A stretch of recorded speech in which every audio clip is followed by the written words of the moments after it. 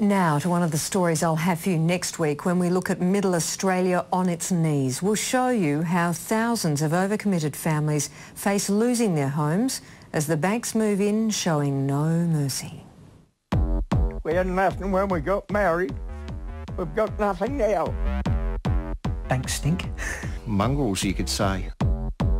In fact, it ruined all our lives. Of course there's a mortgage meltdown coming, yes. And that's one of the stories I'll have you next week. So until then, I hope you all have a great weekend. Please take care and good night.